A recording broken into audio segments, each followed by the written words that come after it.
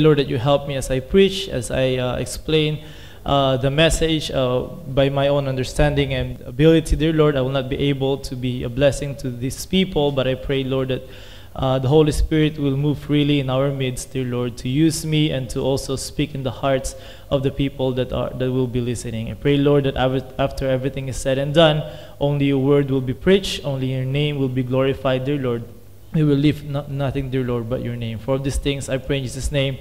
Amen. So um, we have read 2 Corinthians uh, chapter 5, verse 1 to 10. And um, uh, it's a, the title of the message this uh, morning is Living with One Eye on Eternity. It's living with one eye on eternity. So if, uh, if you have paid attention with the verses that we have read, we've seen that uh, the verses are talking about one place that we all are going when we die, which is heaven. And it's also talking about uh, precious promises of the Lord, not only heaven, but also the body that we're going to have someday. And that is that will be the uh, theme of the message today: living with one eye in eternity. And in our uh, Bible studies every Wednesday, we have learned that uh, uh, we have learned that people before never really believed that the uh, earth is round.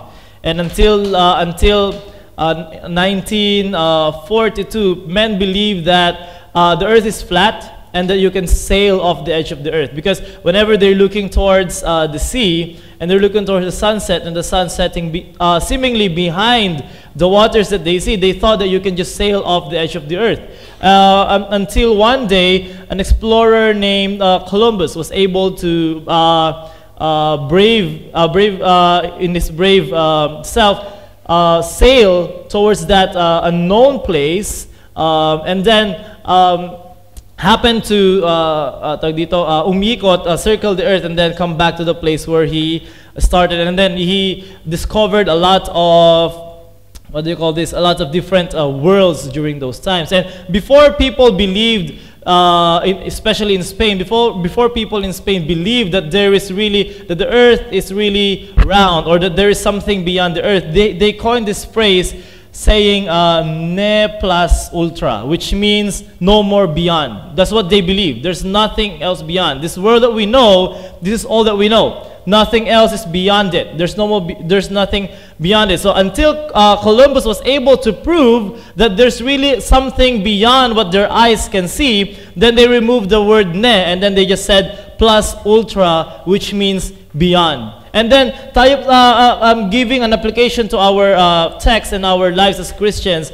Dapat po tayo, our eyes and our perspective, our focus should be something uh, in our minds. Dapat lagi nasa isip natin that there's something beyond this life. Okay? While a lot of people live this life as if they're just gonna live this life and when they die, that's it. Christians should not be living that way. Dapat hindi po tayo ganun mamuhay. We should be living for something beyond what these eyes can see. We should be living for something beyond what we know and what we perceive in this present life. But as, as, as we will will be studying this morning, it takes faith. It takes a lot of grace and help of the Holy Spirit to be able to consistently live as if there's really something beyond this life. Because the problem is, as Christians, sometimes hindi po tayo namumuhay na parang merong langit. Parang namumuhay lang po tayo, nandito lang talaga. That's why yung effort natin dito pinupundar, yung yam, ah, nagpapakayaman tayo, we try to reach a lot of things, and then hindi natin namamalayan na lahat na, ng, na yung majority na ng effort natin ay nandito na sa pang samantala. Nawala na po dun sa eternity. And we have studied last time that I preached about uh, uh, comparing temporal and eternal things na talagang walang comparison. Di ba? How long are you going to live here? 60, 70, 80 years, matagal na yung 90. And then, uh, you will spend most of your, your life uh, na dito, dito mo ibubuhos ang iyong effort compared to knowing, supposedly knowing, that you're going to spend eternity in heaven. And sometimes, madali lang pong sabihin, papunta kami ng langit, we have eternal life, we will face the Lord. Uh, someday when we die, we will face the Lord. Uh, we will face judgment. Pero hindi po tayo namumuhay uh, na parang totoo nga yun. Di po ba? Para kunwari, right now, my, uh, our pastor is away. And if we, we, we believe that He's coming back uh, on the 27th. Pero kung alam nating babalik siya, tapos ang ginawa natin, hindi tayo nag-service, hindi tayo nag-prayer meeting, hindi ta hindi natin ginampanan ng mga ministry. Okay, pastor pa lang ha. Hindi na wala tayong ginawa, nagpaka uh, sasatay, ginamit natin yung pera. Sabi ni mo, no, to maraming pera yung church, o gamitin natin, party-party tayo, kain-kain. 'Di ba? P- pwedeng sabihin natin na yes, pastor is coming back, but we're living as if he's not coming back. Na parang wala, or, or, we know he's coming back, but we don't care. Minsan ganun po yung pamumuhay ng Kristiyano. And then, uh, the Apostle Paul wrote this uh, uh, 10 verses to show this Corinthian people that there's something beyond this life. Because this, the, ang problema po dito sa mga tao sa Corinth, they're very, very uh, uh, carnal. Gusto po nila yung pleasures of this life. Gusto nila yung kasalanan. Gusto nila yung bagay na magpapasaya sa kanila dito sa mundo. Not thinking that there's something beyond this life na dapat nilang paghandaan. Parang sinasabi ni Paul, this is foolish. You're living for this life is foolish. Living, uh, uh, pupundar mo dito, lahat ng pagod mo is foolish. I'm not saying na huwag ka na magtrabaho, huwag ka na mag-aral na mabuti, huwag ka na mag-prepare para sa future mo, future ng mga ng pamilya mo. Of course, you have to do that because God has given you that responsibility as well. But dapat po i-balance natin. Hindi na lang puro doon. Di po ba? Kaya kung i-examine po natin yung buhay natin ngayong umaga, what are you really living for? Are you living for that something that is beyond? Or are your eyes just uh, uh, focused on the things that you can see now? Or just in the near future? Uh, are we not really focusing our perspective and our eyes towards eternity? That's why uh, the, the message today is living with one eye on eternity. Now, uh, let's go to our first point, which is in verse number one. It says here, For we know that if our earthly house of this tabernacle were dissolved, we have a building of God, an house not made with hands, eternal in the heavens. Now, living with one eye in eternity or living not for this world entails, uh, uh, meron siyang mga kalakip na mga bagay dito sa verse 1 to 10 na iisa-isahin natin. I forgot, ilan ba yun?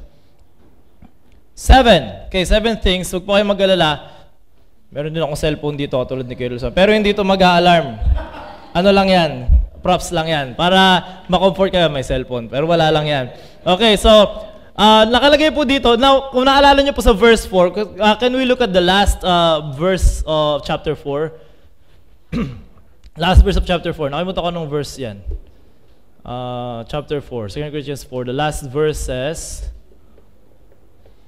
Yeah, while we look not at the things which are seen, but at the things which are not seen, for the things which are seen are temporal, but the things which are not seen are eternal. So, after Paul has told uh, p- uh, uh, these people na merong eternal things na dapat nating bigyan ng pansin, uh, I think Paul here started chapter 5 uh, uh, telling the people na tutunay ito tunay itong eternity. Because alam niyo po, minsan, uh, lalo na po sa panahon natin, marami po nagpo-profess na ligtas. Marami po nagpo-profess na, I believe the Bible, I believe God, I believe there's heaven, I believe there's a judgment, I believe all these things, but living their lives as if they don't really believe those things. Now, the Apostle Paul opened chapter 5 in verse 1, sabi niya dito, For we know.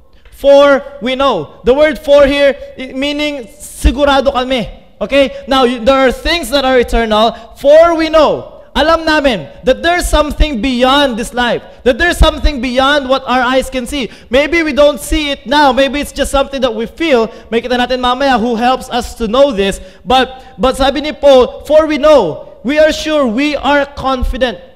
Yan po yung difference natin sa mga unbelievers. We know that there is something beyond this life. We know that. Kung, kung po kayo nakapag, nakaranas na po kayo mag-share sa mga unbelievers, sharing the gospel, and then you ask them, pagka po ba kayo namatay, uh, sa tingin nyo po saan po kayo pupunta, kadalasan po, kahit mga sa mga Catholics, kadalasan, ang sagot nila, eh, sino ba nakakaalam? Hindi natin alam.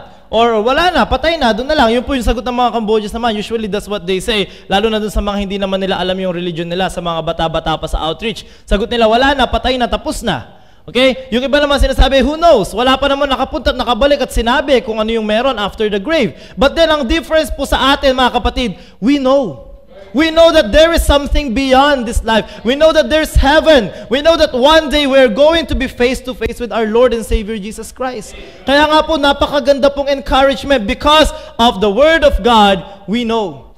Okay? Eternal things, for we know. And as Christians, we should live as if we really know. Live as if you really know. Kasi po, uh, the last verse that we have read that we are all going to face God in the judgment seat. And whatever you have done in this life, seemingly for the Lord, you're going to give account to the Lord. Now, kung po hindi tayo naghahanda para doon, do you really know na meron? Or baka naman minsan nagda-doubt tayo, parang wala naman. Sinasayang ko lang yung ilang taon ko dito sa earth, living for something that I don't really know exists. Yun mahirap. Yung mga talagang hindi ligtas o yung mga talagang hindi naniniwala that there's a heaven. Wa, o nga naman, bakit nga naman mag-work or mag invest or magbibigay ng effort sa bagay na hindi ka naman sigurado mangyayari? Kaso nga lang tayo, dahil sigurado tayo, bakit naman hindi tayo nag-effort at nagbibigay ng time at nag invest sa bagay na yon? Yun yung nakakapagtaka po minsan. Kaya nga para bang, uh, kung ko-compare mo lang yung numbers, eternity for a few decades here, uh, uh, here, in, uh, here, here on earth, no comparison. But then, we choose to live for what's temporal. And all of us are guilty of this. I'm not saying na wala po dito na nagsisik ng pleasures of this life. Kaya nga po meron dito sa atin nagbabakasyon, uh, kumakain ng masarap, nag spend for this and that, which is fine. But then we're not living for these things. Because we know So for we know that if our earthly house of this tabernacle, um, first point nga pala, living with one eye in eternity, it involves the hope of a new body. And someday we're going to have a new body, and then, and then we're going to study about this. That if our earthly house of this tabernacle were dissolved, sabi po dito, uh, Paul describes, describes our body as a tabernacle. Okay? Um, sa iba pong version or, or sa Greek, the, the word tabernacle is skenos, which means tent. Okay, tabernacle which means tent. Even nung Old Testament, yung tabernacle is just a, a huge tent. Okay? Na ang ang purpose po nitong tent na to, bakit sina-set up? So that uh, para pagka mag-move, madaling itupiin at ilipat ng lugar. Ano po, that is a tent. Now, Paul compares our body ito pong, uh, ito pong uh, tinitira ng ating uh, soul and spirit right now as a tabernacle, as a tent. Okay? Our, our tent meaning set up for temporary use and taken down when we travel to another place. Ibig sabihin po, temporary lang itong katawan. That means, someday it will be taken down. Someday, you will die. Why? For the purpose of traveling to a new place. That is, that is, the, that is the purpose of the word tabernacle. Hindi po ito magtatagal. Hindi po masarap, masarap pong matulog sa tent. Po, narana, na, na, naranasan na po natin yan. Masarap matulog sa tent. Maybe for one night, two nights, three nights. Pero kung isang buwan nakatent ka na lang, dalawang buwan nakatent ka na lang, hindi na po masarap. Di ba kasi yung tent, ano lang yan, for enjoyment. Sandali, camping. Di ba? Kaso nga lang itong tent na to, minsan maglilik, minsan mainit na, minsan mag-wear down, and then eventually you have to take it down. Yun po yung, yun yung, uh, yun yung, uh, a concept dito that our body is just a tent. And someday we're going to have to be taken down and go home to our real place. The Bible says we are not of this world. We are only pilgrims. And someday this tent of ours is going to give up and die. That is a reality of this world. Lahat po tayo mamamatay. Meron baka po meron dito nag-iisip that we will live forever. That we're, we're living as if we're going to live in this earth forever. No, sandali lang po ito. We're just on a journey. We're just on a mission. And then someday we will have to break down and die. And we will face the reality of eternity. Uh, we are here. Uh, uh, our earthly house were this, uh, of this tabernacle were dissolved. We're only uh, pilgrims of this world. Uh, 1 Peter chapter 2 verse 11 said, Dearly beloved, I beseech you as strangers and pilgrims. Foreigner lang po tayo dito sa earth. Hindi lang po sa Cambodia. Kahit sa Pilipinas, foreigner lang po tayo. Kahit sa magpunta, foreigner lang tayo. Why? Because we are citizens of heaven. And we're just bar we're just having this body entrusted to us by God that we have to take care of it, of course, but then we should not give everything para sa katawan na to. Okay po na kumakain tayo ng healthy, nag-exercise tayo, medyo pinapaganda natin yung katawan, pero hindi lang hindi lang po yun ang life. Contrary to your belief, kilay is not life. It's not life. It's just part of life. Sandali lang po yan, five minutes lang dapat yung kilay. Kaso nga lang po, kadalasan, kilay pa lang, ang tagal na, ay mukha pa, ay katawan pa, ay yung susuot pa, ay yung buhok pa. Hindi po ba? I'm not saying na pumasok, na magpunta kayo sa church na gulo-gulo yung buhok, walang makeup, ang pangit ng suot. Hindi ko lang po sinasabi ganun, but, balance po natin. Di ba? Napag-pray mo na ba yung service, nakikilay ka na. Di ba, napag-aralan na po ba natin ng Bible? O unang ginagawa natin yung pagkikilay? Di po ba kaya dapat balance? What is your priority? Eternity or this? Okay, eternity or or future body or this temporal body? Yan po yung uh, dap, dap, dapat natin makita. We have a building. Tuloy natin yung verse. We have a building. So sabi that it, this will be dissolved. But we have a building of God, an house not made with hands, eternal in the heavens. Now, this is not a tent anymore. Ito na po talaga yung ating destination. Okay, sabi dito now, our spirit and soul is now resting in this tent. And someday God will give us a house eternal, not made with hands, eternal in the heavens. And we know that someday we're going to have a body that doesn't have any limitations. Na hindi na po nakakasakit, na hindi na po napapagod, hindi na stress. Okay? Na itong, itong katawan na to is that is something na that can live, that, uh, a body that is made for something beyond. A body that is made for eternity. And someday we're going to have that. Kaya nga po, wag na, natin, wag na natin masyadong isipin pa yung ating itsura ngayon. Kasi, sige, sabihin na natin, hindi mo gusto itsura mo ngayon. Huwag ka na magpa-opera, hintayin na lang natin yung sa langit. Hintayin na lang po natin, i-makeupan mo na lang. Gawan mo na lang ng paraan. Kasi meron din naman po sa langit eh. Di ba? Eh, sabihin na natin, gwapo ka nga dito, maganda ka nga dito. Pero yun naman ang ginagawa mo, pag sa langit ba, gwapo ka sa Panginoon, maganda ka ba sa Panginoon? Mabango ba ang pangalan mo sa langit? O baka naman dito lang, pagdating sa langit, wala din. Hindi po ba? And it's, that is something that is sad. May kita po natin yan uh, later on. Um, so, this, there's a heaven waiting for us with the Father's outstretched arms. Hinihintay po tayo the promise of heaven and even the rewards that God has promised to give to us in heaven. Kaya nga po mga kapatid, we should live for that. Wag po dito lang. Okay? So, in verses 2 to 4, it says here, For in this we groan, earnestly desiring to be clothed upon with our house which is from heaven. If so be that being clothed we shall not be found naked, for we that are in this tabernacle do groan, being burdened, not for that we should be unclothed, but clothed upon that morality might be swallowed up of life. Pero parang ang gulong intindihin nito, medyo ma- mahirap din po siya intindihin. But we'll try to explain it as we go along. So not only the promise of of, of the hope of a new body. But second point, it involves craving for the new body.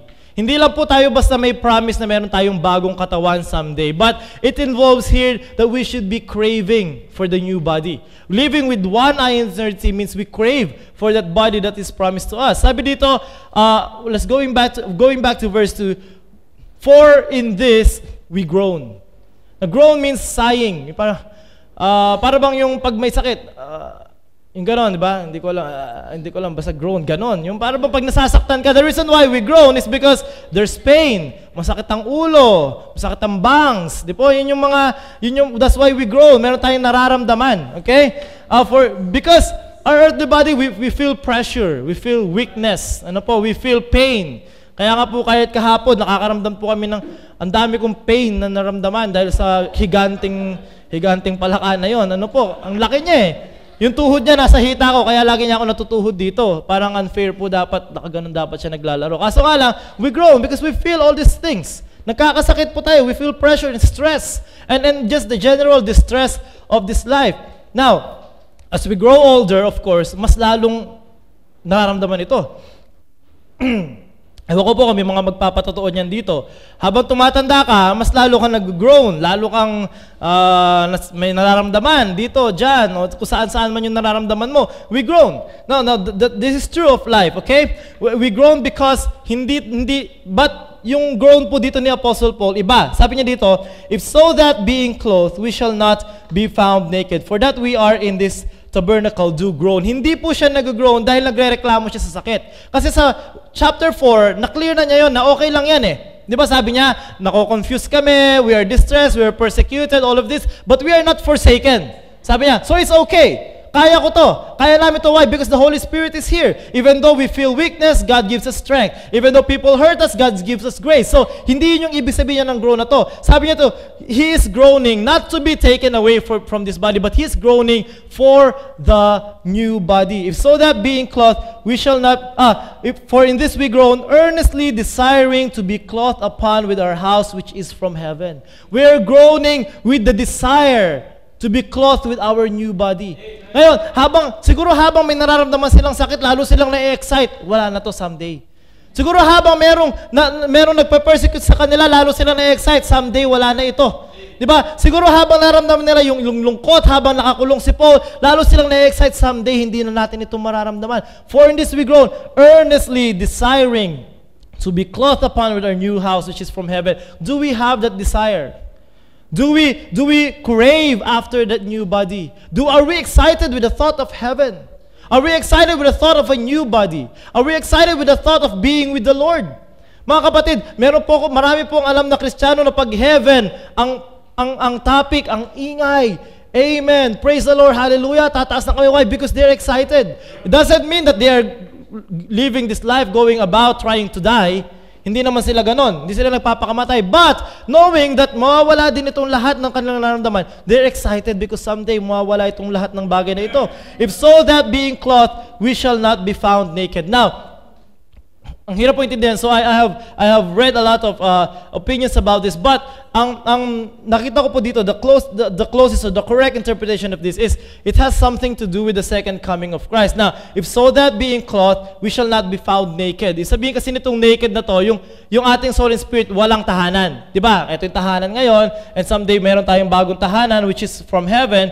Isabihin nito, uh, something to do that people with people that are alive during the rapture, during the second coming of Christ. Na hindi na magiging naked. Now, from this body, then going to the, to, uh, not to transfer agad dun sa ating uh, new body. For we that are in this tabernacle do groan. Na hindi po lahat ng saints ay nag-groan. Kasi meron pong mga wala na sa katawan na mga nasa langit na. They're not groaning anymore. But we, tayo, that are in this tabernacle, we groan. Okay? Na, na, na nagkakaroon tayo ng mga bagay, sakit. Being burdened.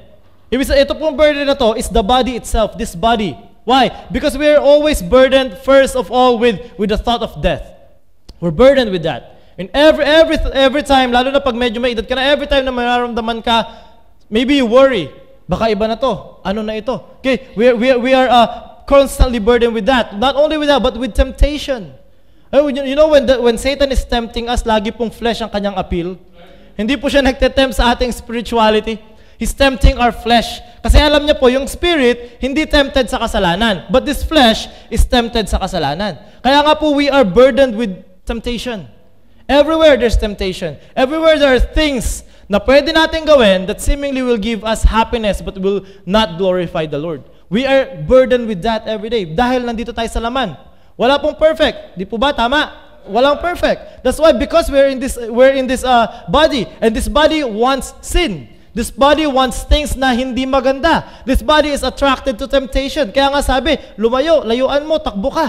Why? Because kahit na gaano ka pa ka-spiritual, kahit gaano ka pa kalakas, kahit na araw-araw ka pa nagbabasa ng Bible, kung ikaw mismo lalapit sa temptation, hindi mo tatalunin yung body.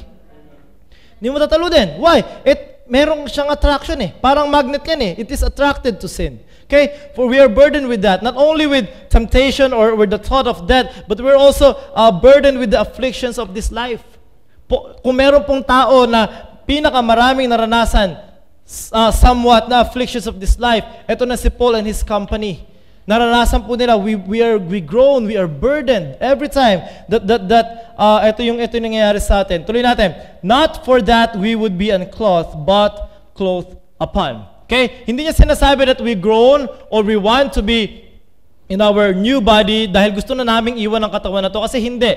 Sabi niya sa, I believe Philippians, sabi niya, uh, uh, gusto ko na na to be with the Lord but it's more needful for you to, to for me to stay here okay? Uh, hindi hindi siguro si Paul pumupunta sa isang lugar and then purposely trying to get caught and then sabi niya sige pugutan niyo na ako ng ulo para makapaglangit na ako. Although sinasabi niya na gusto na niya pumunta sa langit but it's not living his life na para bang gusto na para madaliin na lang yon that's not what he's saying. So he's saying that although I want to be in my new body I'm still doing my best in this body Namumuhay pa rin ako in preparation for that new body because it's not time for me to die yet. Hindi pa ito yung time. The Bible says, it is appointed unto man wants to die. It is an appointment that we keep. All of us are going to die someday, pero hindi po dapat natin madaliin.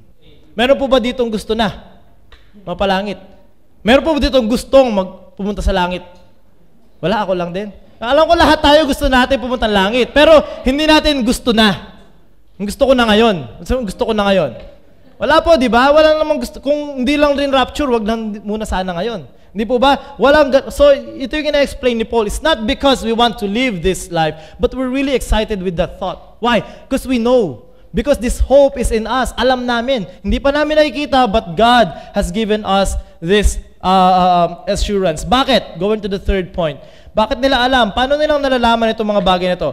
Now he that hath wrought, verse 5, Now he that hath wrought us for the self-same thing is God, who also hath given unto us the earnest of the Spirit. The third point is the earnest of the Spirit. Paano po ba nilang nalalaman na meron ng heaven, uh, may new body, may eternity, may eternal things?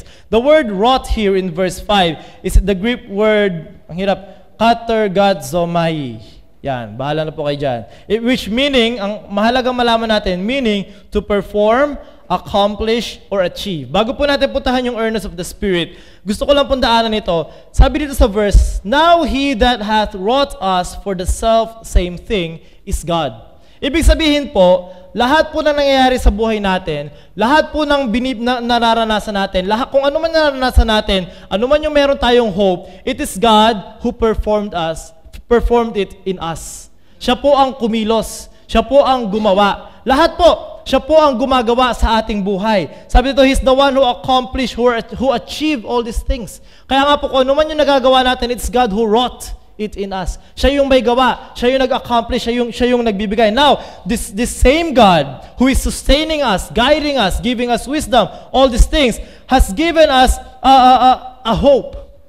Binigyan po tayo ng hope. Something, sinasabi po sa atin sa Biblia that there's something prepared for us. 1 John chapter 3 verse 2 says, Beloved, now we are the sons of God, and it doth not yet appear what we shall be, but we know that when He shall appear, we shall be like Him, for we shall see Him as He is. Even yung hope na ito, Diyos din ang nagbibigay. And God has guaranteed to us that we are going to have life beyond this. At sino po yung binigay niya as guarantee? This guarantee is the Holy Spirit. Yun po yung ibig sabihin ng earnest of the Spirit. Ibig sabihin po nitong earnest na to ay parang down payment. Down payment ng Panginoon. Parang, ito yung sinasabi nating, parang bang engagement ring. Para bang, ito yung pangako, napapakasalan kita someday. Yun yung engagement ring. Pa kasi someday we will be married with the Lord Jesus Christ. So, meron siyang iniwan na engagement ring, na pangako, na down payment, which is the Holy Spirit. Okay? The earnest of the Spirit. The Holy Spirit helps us keep our eye on eternity. Kasi kung sa atin lang sarili, hindi naman natin gagawin yun.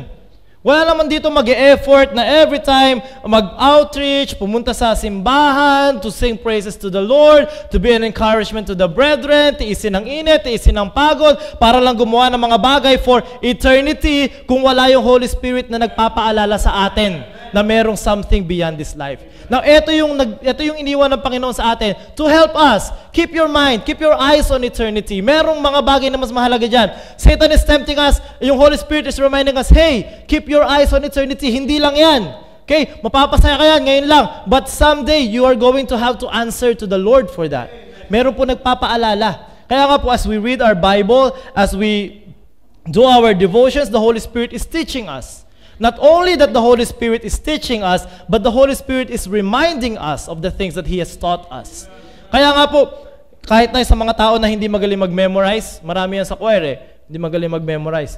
Pero po talaga may mga tao mahirap, mahina sa memorization. Kaya hindi mo memorize yung mga nababasa mo sa Bible. Ako, eh, mahina ako sa, sa ganyan. Hindi, hindi, hindi mo ako mapagkukot basta-basta ng mga verses. But, sa pag-aaral mo at sa pagtulong sa iyo ng Holy Spirit, when the time is right, when you're faced with a decision, Holy Spirit, isa sa ministry niya is to remind you of these things. Hey, this is what the Bible says about that. Even though you can't quote the verse, you know the principle. You know what God thinks about the decision that you're about to make. That's the Holy Spirit reminding us. Now, as we live this life, the Holy Spirit is helping us keep our eyes on eternity. He is the down payment. Para sabi na Panginoon, babalik ako. Meron meron akong iiwan sa inyo to help you live this life. Ngayon, imagine natin, if the Holy Spirit is just the down payment, if the Holy Spirit is just the engagement ring, if the Holy Spirit is just this, ah, para bang pauna, how much more it's the full payment na ating mararanasan. The Bible says in 1 Corinthians chapter 2 verse 9, But as it is written, eye hath not seen, nor ear heard, neither have entered into the heart of man the things which God hath prepared for them that love him. The Holy Spirit right now gives us love, joy, peace. Something na hindi na mako-compare sa mga tao na walang Holy Spirit. Kaya nga po may mga tao na nagtataka, bakit itong mga to namatayan na, nahirapan na, nasa hirap na, kumakanta pa, nag, nag, mayroon pang joy because there is a joy in our hearts that only the Holy Spirit can give. Na itong mga bagay na ito ay tayo lang ang nakakaranas ng mga tao may Holy Spirit. How much more pag nandun na tayo sa langit? Andito pa po tayo ha, nag-groan pa tayo, nasasaktan pa tayo, nalulungkot pa tayo. The Holy Spirit is uh, giving us a taste of that joy, of that peace, of that love that someday we are going to enjoy fully in heaven. Di po ba para bang yung pagka Christmas, yung alam mo na yung regalo mo, kaso nga lang agad nirap nung magulang mo. Ganyan, dati nung bata pa ako, kinakalog-kalog ko na, di ba? Tapos kung pwede pang silipin at i-tape uli, di ba? At least, yung, yung alam mo na yung gift sa'yo kasi na-request mo naman. Kaso nga lang, kailangan buksan mo sa Christmas pa. Yun yung, yun yung nangyayari dito. Meron ng taste. Alam mo na. Na-imagine mo na yung sarili mo. Eh, PlayStation. Na-imagine mo na yung sarili mo naglalaro. Na-imagine mo na yung sarili mo hindi ginagawa yung homework mo, nag, tamad-tamad mo naglalaro. Na-imagine mo na, enjoy mo na yan sa isip mo eh. Ba? But you know, hindi mo pa talaga fully ma-enjoy until Christmas. Yun yung nangyayari dito. The Holy Spirit is giving us, us that taste. Okay, the taste of what we're going to um, to experience, the taste of what the Lord has given us. But someday we are going to enjoy it fully in heaven. Kaya nga po dapat hindi natin ini-ignore ang Holy Spirit. Hindi po natin gini-ignore yan. We have to learn how to listen to the Holy Spirit. Hindi ko po sinasabi na para tayo yung mga ah, charismatic na sobra naman. Kasi meron po mga tao na yung mga talagang hindi ligtas, they, they confuse spirituality sa emotionalism. Di po ba? Yung mga, "Ay, sabi sa akin ng Holy Spirit talaga. Eh, kung, emotionalism yon. Iba po yung Holy Spirit sa nagiging emotion ka lang. Kasi yung Holy Spirit, nagre-remind yan ng mga bagay na pinag-aaralan po natin. Yun po yan kasi hindi yan magic.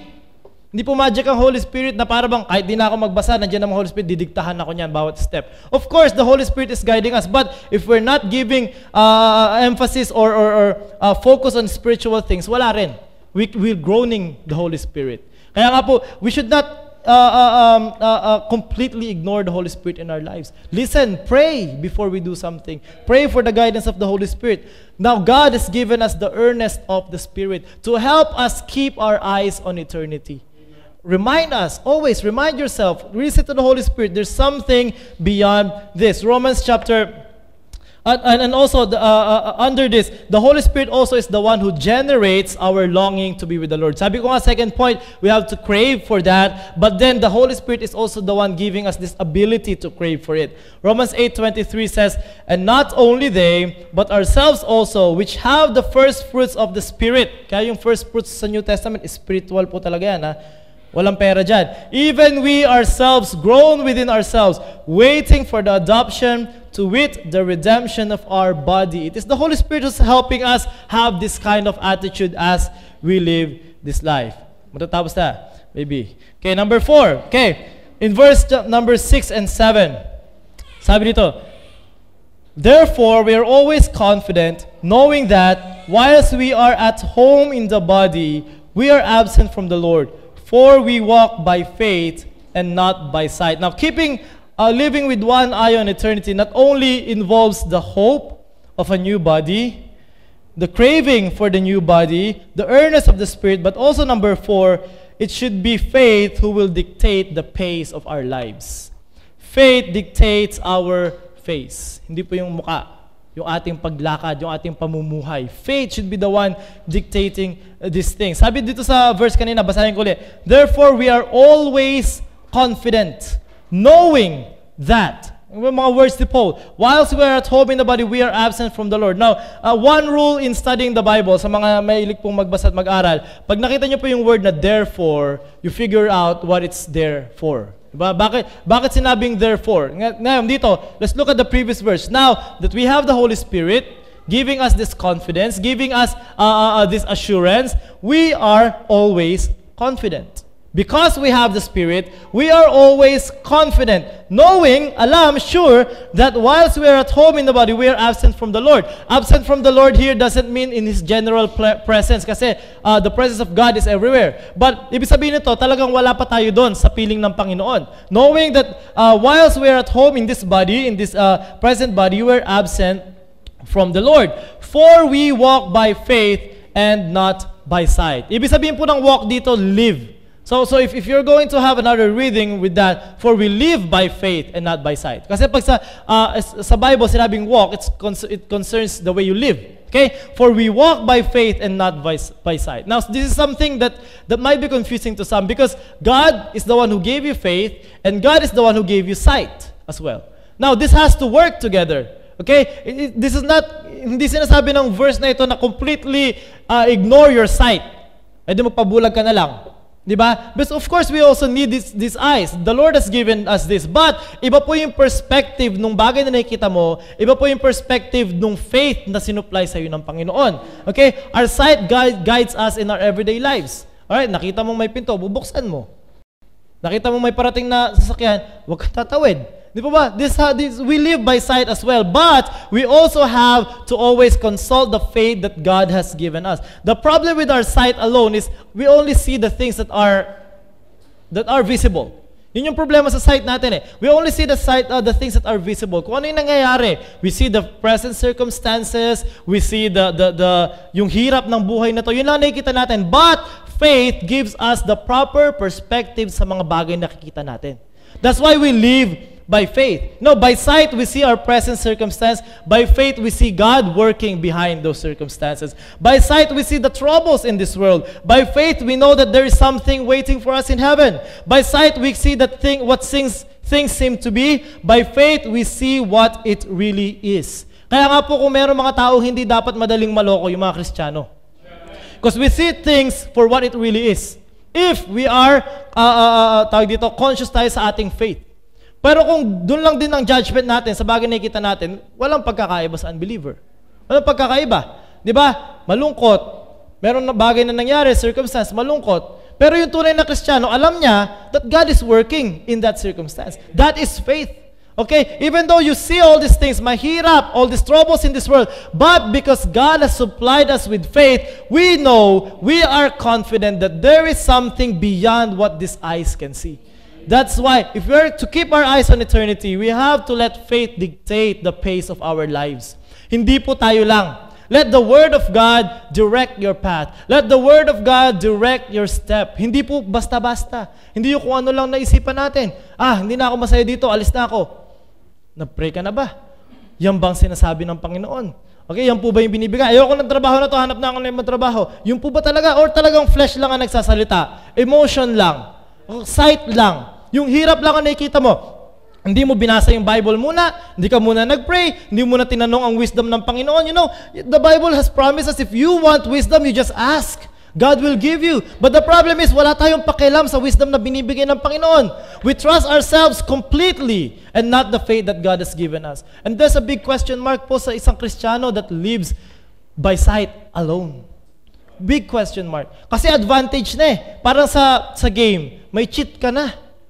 May cheat. Di ba? Pag nagka-counter strike ka, pumasok lang dun sa bilog, baril mo, patay na, hindi mo na kailangan itutok sa gitna. Meron na tayong ganon. Bakit, hint, ba't itututok mo pa sa gitna? Eh di pag pumasok, barilin mo na agad. Ewan ko sa mga nag, kung nagigets yung mga nagka-counter strike.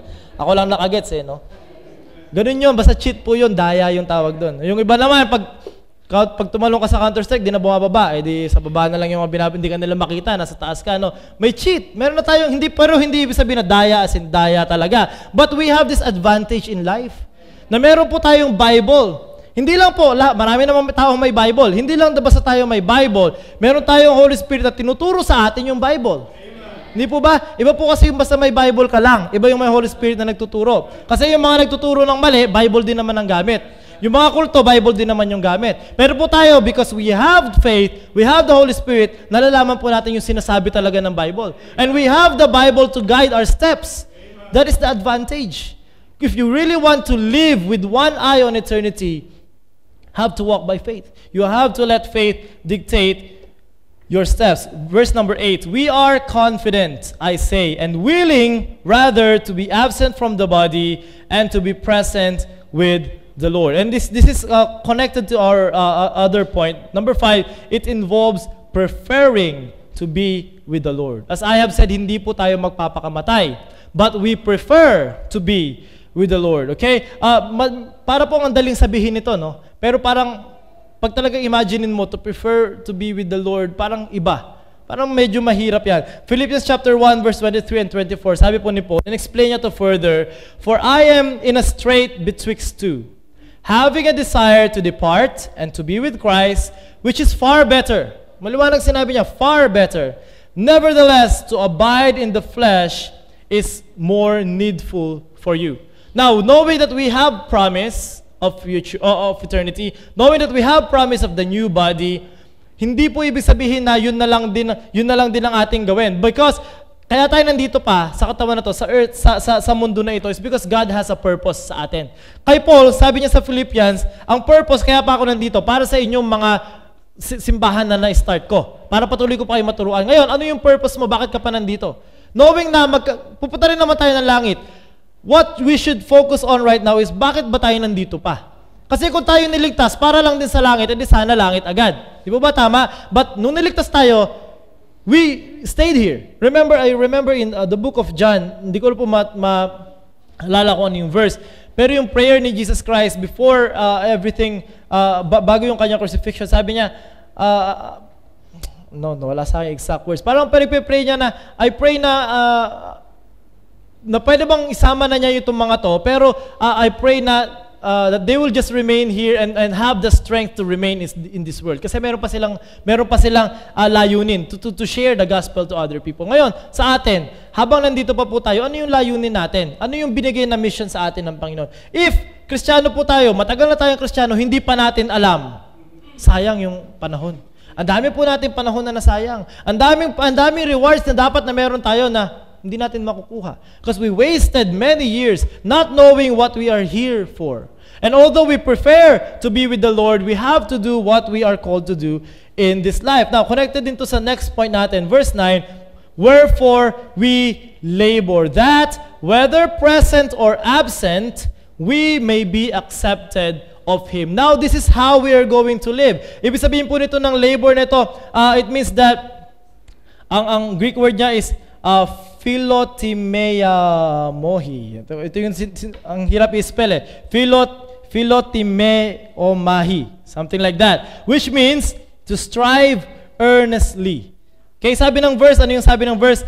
Whether present or absent, whether nandito tayo or, or, or, or somewhere else, we may be accepted of Him. Ito yung goal nila Paul. We are laboring. Sabi niya labor. We are striving na kahit nasaan kami, we are going to be accepted of Him. That means whatever we do in this body, that we may please the Lord.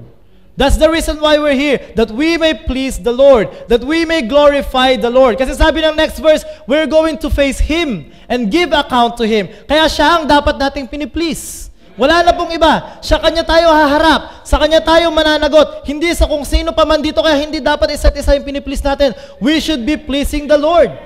And, and, and, and uh, uh, uh, sabi din ng Bible that if we are okay with the Lord, siya lang ang bahala sa relationship natin dito sa earth. But our primary goal is to please the Lord. Sabi sa Jeremiah 45 verse 5, the first part of the, this verse, And seekest thou great things for thyself? Seek them not.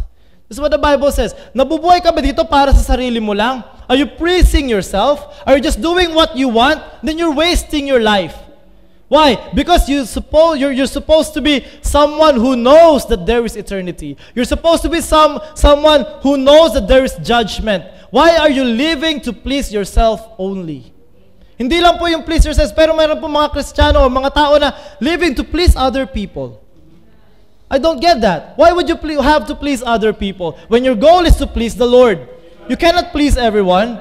Na mag-preach ako dito na maikli, mayroong hindi masaya. Mag-preach ako na mahaba, mayroong hindi masaya. Mag-preach ako ng English, mayroong hindi masaya. Ako, yon. Mag-preach ako ng Tagalog, hindi masaya sila liyang. Di ba? You cannot please everyone. But the Bible says to please the Lord.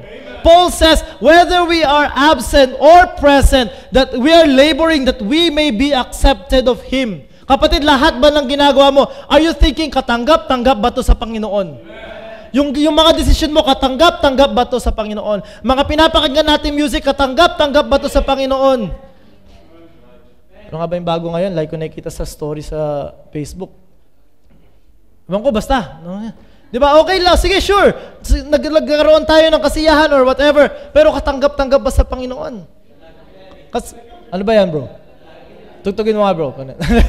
okay. Kasi po, I believe, and, and we have to be honest with ourselves. Meron tayong mga guilty pleasures na tinatawag. Ako, aminin ko sa inyo, ah, guilty pleasure ko si Michael Pangilinan. Kasi ang gwapo niya eh. Ay, totoo ang gwapo niya. Dati si James Reed. Lagi ako nanonood ng mga teleserye ni James Reed. Wala akong pakialam kay Nadine. James Reed lang eh. Pero ngayon talaga, crush na crush ko si Michael Pangilinan. Pinaparinig ko nga kay baby, tas kinikilig din siya eh. Pares kami. Pero meron tayong mga ganong klaseng bagay. But then, hindi po tayo doon. Hindi po talaga dapat doon ang ating focus. Okay? Uh, ito tinatawag ng mga guilty pleasures. Pero sana mawala rin po yan sa ating buhay. Sana mawala din. We pray that it will believe. But, whatever you do, Ask yourself, am I pleasing the Lord? Kasi po, ilang minuto yung in-spend mo sa pleasure na gusto mo sa sarili mo, ilang minutong nawala rin yan para sa Panginoon. Ilang minutong sa buhay mo rin na pananagutan mo sa Panginoon, paano mo i-explain sa Panginoon ngayon yun? Ang gwapo po eh. Sandali lang naman yun. Babasa rin po ng Bible after. Di po ba? Ganun, ganun ba? So we have to please the Lord. This is Apostle Paul and it's hard to, to pattern our lives sa pamumuhay na ginawa niya, of course. But then that is the goal. To be pleasing the Lord every minute of our lives. How are we going to please the Lord? Very quickly, 2 Timothy chapter 2 verse 3 and 4. The, the Bible says here, We are to please the Lord, but not by being entangled with worldly affairs. 2 Timothy chapter 3, verse 4. Thou therefore endure hardness as a good soldier of Jesus Christ.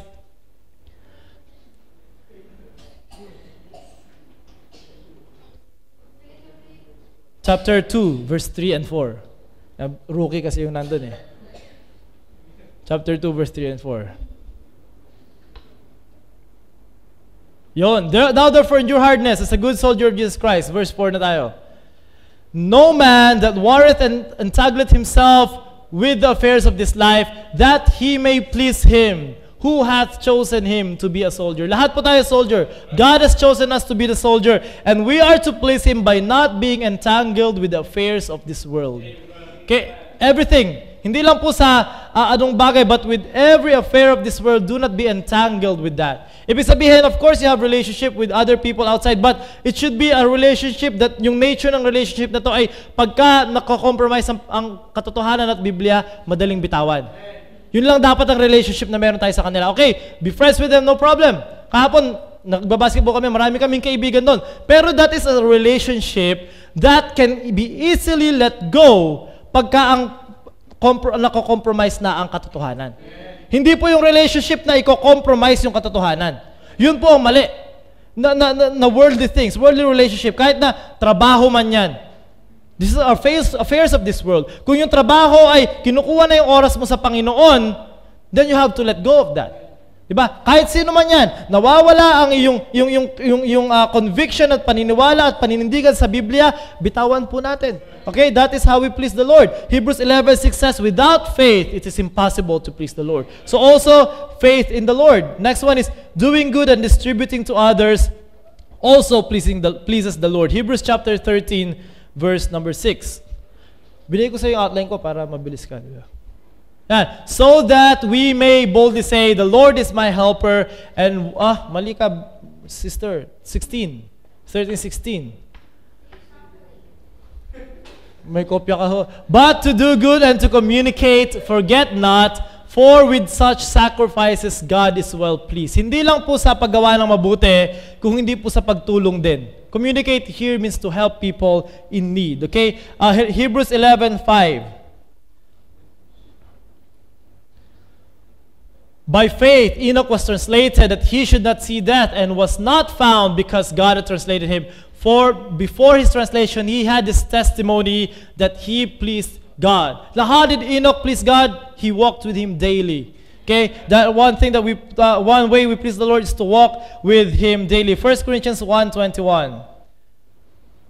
The Bible says here, For after that in this wisdom of God, the world by wisdom knew not God, it pleased God by the foolishness of preaching to save them that believe. The foolishness of preaching pleases God. Ibig sabihin yung preaching po na ang wisdom mo nanggagaling sa Panginoon. Kasi po meron mga preaching na hindi ganyan. Sariling wisdom, sariling katalinuhan, sariling paliwanag, sariling sikap. But pero po mga ang gusto ng Panginoon, the preaching of the gospel that only relies on the Bible itself, the pure preaching of the word of God. It pleases the Lord. Psalms chapter 69 verse 30 and 31. Bilis ha. I will praise the name of God with a song, and I will magnify him with thanksgiving. This also shall please the Lord better than any ox or bullock that hath thorns and hoops. Sabi po dito, singing praises to the Lord pleases Him as well. Kaya nga po punta tayo dito pag tayo umaawit, wala po tayong ibang inaawitan kung hindi ang Panginoon. Kaya nga po yung mga umaawit na walang gana, nakakahiya po sa Panginoon. Kaya po yung mga umaawit na parang hindi mo rin naman na-feel yung, hindi ko sinasabing mag-feel tayo masyado, hindi mo rin naman na nakikita yung tr- truth nung awitin, hindi mo binibigay yung best mo, you're wasting your time. You know, every Sunday, marami po tayong kasabayan na nagsuservice dito. Yung iba dyan, nagtatalunan. Yung iba dyan, nagrakrakan. Pero ang pagkakaiba po nila sa atin, sila bigay todo. The best talaga yung binibigay nila. Yung congregational singing lang nila, which is praise and worship para sa kanila, pinapractice pa nila yun. Pinapractice po nila, although pinapractice din ng orchestra natin dito yung pagtugtog nila. But, look at the difference. Yung kanilang effort sa effort natin. Pagka po ba may unbeliever kang pina-attend doon at pina-attend dito, anong iisipin nila with their na- natural mind? Anong iisipin nila? Sino yung tunay na nagpe-praise sa Panginoon? Parang hindi naman tunay itong mga Baptist, kumakata sa Panginoon, nakasimangot. Di ba? There is joy in serving. Tagal naman, isa pang awit, nakakangalay na. Ano? Di po ba? Singing, the, uh, singing praises to the Lord pleases Him. And if we give our best, we are striving to please the Lord. Okay? So, last point na ba tayo? Verse number 10. Tama? Okay. For we must all appear before the judgment seat of Christ, that everyone may receive the things done in his body according to that he hath done, whether it be good or bad. Now, going back, living with one eye on eternity, we are promised with our new body, we are to crave for that new body. Uh, the Holy Spirit helps us to keep our eyes on that eternity and, and to have the promise of, of this eternity. We should live by faith. Let faith dictate the way, the way we live our lives. And it involves preferring to be with the Lord. And we are, we are to please the Lord every day of our lives. Why? Last point, it involves planning for the judgment seat of Christ. Gaano po ba natin, on a scale of 1 to 10, gaano mo pinaniniwalaan na someday mananagot tayo sa Panginoon? The Bible says here, for we must all appear. Ito na naman yung 4 na to, for we must all appear. He's sure again. The Apostle Paul is sure again by the Holy Spirit that we must all appear. Someday, we will face Him. This is an appointment that we must keep. Wala pong makakapag-cancel ng appointment na yan. As sure as you are going to die, you're surely going to face the Lord. This is something that will happen in our lives. Mangyayari at mangyayari. Are you ready to face the Lord? Are you ready right now? Kung babalik ang Panginoon, kaya mo ba siyang harapin at sabihin sa Kanya ang ginawa mo sa buhay mo? Why? All of these things that the Apostle Paul is saying about himself, about his testimony, about his life, about his walk, about God's promise, is all in preparation for someday I am going to face the Lord. Kaya nga po sabi niya, natitiis ko lahat, nagagawa ko lahat for the Lord. Why? Siya rin, sa kanya rin naman ako mananagot, wala nang iba. So kung sinasabi sa akin ng governor, sinasabi sa akin ng hari na tumigil mag-preach, hindi ko sila susundin. Why? Kasi hindi naman sa kanila ako mananagot. They can only kill this body, but someday I will answer to God. And what if they kill me? Yes, they can kill me. Paano kung sinunod ko sila? Na, naayos nga, hindi nga nila ako pinatay. Mamamatay din naman ako. Pagharap ko sa Panginoon, ano sasabihin ko? Takot ako. Hindi ko po nagawa.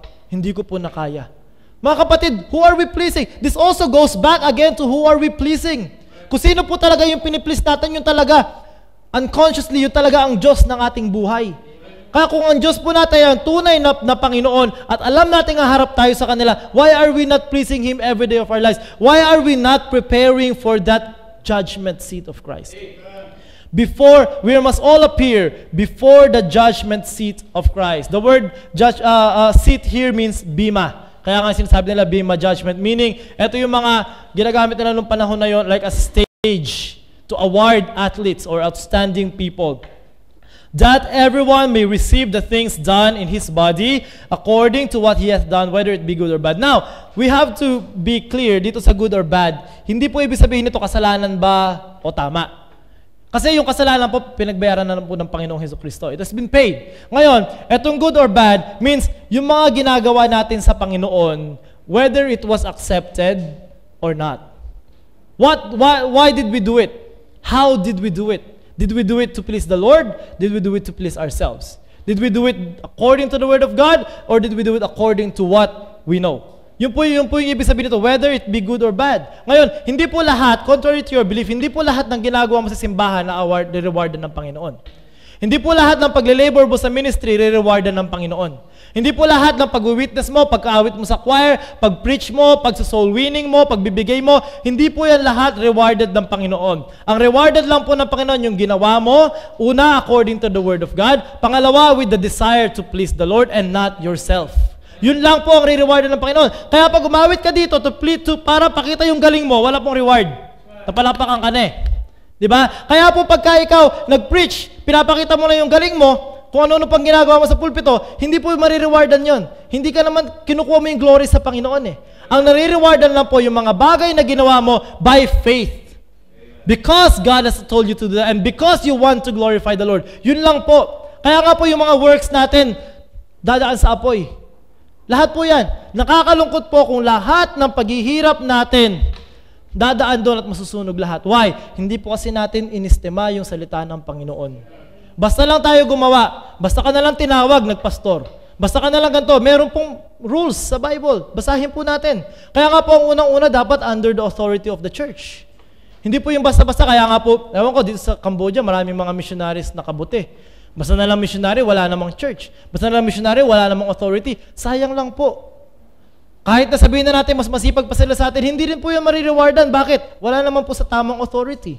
Wala naman po sa tama sa salita ng Panginoon. Kaya nga kahit na ibigay mo pa yung buong sweldo mo, buong buhay mo, lahat ng pera mo sa simbahan, hindi rin po re-rewardan ng Panginoon. Kahit gaano ka pa ka-sincere sa paggawa, bakit hindi mo tinama sa salita ng Panginoon? Kaya kapatid, mahalaga po yon pag-aaral. Mahalaga po ang doktrina. Para alam mo na yung labor mo hindi nasasayang, tama yung ginagawa mo. Kaya po nakakalungkot yung mga tao na sa simbahan na namamanipulate lamang ng mga preachers. Na sa simbahan na manipulate lamang ng mga pastor. Kasi sincerely silang gumagawa sa Panginoon. Sincerely sila nagbibigay sa Panginoon. But they are sincerely wrong. It doesn't matter kung magkano binigay mo, kung mali, mali. It doesn't matter kung binigay mo lahat ng sweldo mo, kung mali, mali. Okay, ang ang re-rewardan lang po ng Panginoon ay yung gumawa according to the word of God. Yun lamang po. Okay, sumayaw ka dito parang si Buna. Bigay todo para kang uh, bulating inasinan na paikot-ikot o anuman. Ah, I'm doing this to praise the Lord. Wala rin. Re-rewardan ba ng Panginoon yun? Bakit? Mali. Hindi po ba? Meron po, magpunta ka sa Facebook, meron mga ano, uh, merong isang ano, nagbi-video siya, nagda-drive, tapos merong nagpatigil sa kanyang itim na, Amer- na, na kasi nagpapatugtog siya ng Christian rock habang nagda-drive. Eh, mabagal lang. Pinatigil siya ng isang Amerika, uh, ng isang nasa side. Sabi niya, pwede bang tigil ka muna? I just want to, I just want to dance for the Lord sa awitin na ito. Sumayaw siya. Kahit na ano pang bigay todo sa pagsayaw niya, wala ring reward po yun eh. Bakit? It's not according to the word of God. That's why nakakalungkot lamang po. Kaya nga po, how for, uh, how blessed are we, mga kapatid, that we are doing things according to the Word of God. And we are sure, and we know that someday, pagharap natin sa Panginoon, we're going to be rewarded of these things. You know, kaya nga po dito, uh, let's just read this. Uh, ano bang? Okay, Revelation 21:4. And God, sabi dito, shall wipe away all tears from their eyes, and there shall be no more death, neither sorrow nor crying, neither shall there be any more pain, for the former things are passed away. Nakalagay po dito, contrary to marami, marami pong preaching na narinig ko na, na wala na daw tears sa heaven. Of the Bible says there are going to be tears in heaven. Marami pa pong iiyak sa langit. For the purpose of, una, makita nila yung mga loved ones nilang tinatapon sa dagat-dagatang apoy. Are you not going to cry? Imagine your mom your dad, your brother, your sister, your friend. Sabi po ng Bible, hi, itatali po sila ng ah, angel. Hindi lang po sila basta ihulog, ihahagis sila sa dagat-dagatang apoy. At kaya sila itatali, bakit? Maglalaban sila. Hindi lang sila willingly tatalon doon. They will be shouting. They will be cursing you. They will be blaming you. And because of that, you're going to cry. Imagine mo, mga mahal mo sa buhay, thrown into the lake of fire. Hindi lang po yun. Because there's a judgment seat. Looking at your works being burned and not rewarded, you're going to cry. Iiyak ka. But someday, the Bible says, after all these things, God will wipe away the tears from our eyes, and then we're going to enjoy eternity. And, and remove those memories from our minds. But the Bible, pero po, it doesn't uh, remove from the fact that we are going to face the Lord and answer for everything that we have done, whether it, it be good or bad. Are you living for eternity? Are you preparing for the judgment seat of Christ, kapatid? If you're living for this world, sana po mag-repent po tayo and start living for eternity. And, and make sure that everything we do, every, every decision we make, everything we say, everything that we are doing is pleasing the Lord. Why? Because there's something beyond this life that what, with, what our eyes can see. And the Holy Spirit is telling us that. Hindi lang po tayo nakikinig. Sana po, patul- sana po naging encouragement ito that we are have to live with one eye on eternity. Tayo po lahat ito mayo. Let's pray. Heavenly Father, we thank you for uh, this passage, for this uh, message that we have heard, for the encouragement and the re- reminders, Panginoon, sa amin. Pinapanalangin ko po, Panginoon, that uh,